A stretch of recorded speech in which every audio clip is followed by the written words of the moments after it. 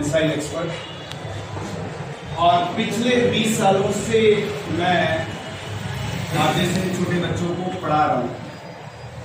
बंसो classes Kota, Hindustan का best coaching institute वहाँ पे मैं हेड ऑफ़ डिपार्टमेंट था।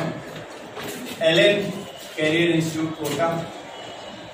I was head of department और पिछले चार सालों से, चार साल हो जाएँगे आने वाले अप्रैल में मैं नांदेड़ में आप जैसे बच्चों को पढ़ा रहा हूँ, उनके सपनों को साकार कर रहा हूँ। वही एक तजुर्बा लेकर के आज मैं यहाँ पर आया हूँ। मुझे मालूम है भारत की युवा पीढ़ी से मुखातिब एक आधा घंटा, शायद ही आधा घंटा आपकी ज़िंदगी में जादू पैदा कर सकता है। मुझे मालूम है तुम्हारे भीतर एनर्जी है।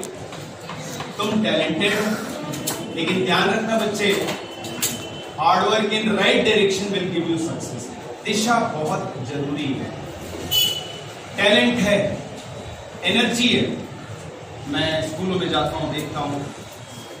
बच्चों में एनर्जी है। कोटा में मैंने देखा, नांदेड़ में मैंने देखा। गाँव, खेड़े, तालुके से बच्चे आते हैं, आसमान छूते हैं। कुछ बातें मैं आपसे शेयर करने आया हूँ। बच्चे, दिशा बहुत ज़रूरी है। मैं कोई यहाँ भाषण देने नहीं आया। अगर आप में से एक भी बच्चा जाग गया मैं समझूँगा ये जनता स्कूल यही नाम यहाँ आने का मुझे मेरा प्रसाद मिल गया। और मुझे भी ऐसा लगना चाहिए कि मैं ज़िंदा लोगों के बीच में आया। मुझे ऐसा नहीं लगना चाहिए कि मैं कब्रिस्तान में आया और बोल के चला जानना चाहता हूँ, तुमसे मिलना चाहता हूँ, बात करना चाहता हूँ। भारत की युवा पीढ़ी हो थोड़ा समय जो भी डॉक्टर एपीजे अब्दुल कलाम के साथ मेरा बीता है उनका भी यही सपना था। स्कूल में जाओ कॉलेज में जाओ यूनिवर्सिटीज में जाओ, बच्चों से बात करो। क्योंकि वो भारत को देखना चाहते थे विश्व गुरु के रूप में। उन्होंने भी अपनी तरफ़ से कोशिश की। स्कूल गए कॉलेजेस गए यूनिवर्सिटी गए, बच्चों से मिले, भारत के बच्चों से मिले। लेकिन ये उनका अकेले का सपना नहीं है ये हम सब की ज़िम्मेदारी है।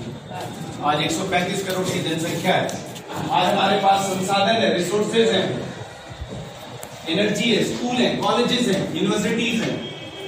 बच्चे कहीं ऐसा ना हो, कीड़े मकोड़ों की तरह पैदा हो गए और मर के चले गए। और अपनी कोई बात ही नहीं उठी। बहुत कुछ होने को मैं समझता हूँ आप सभी बच्चे टेंथ में और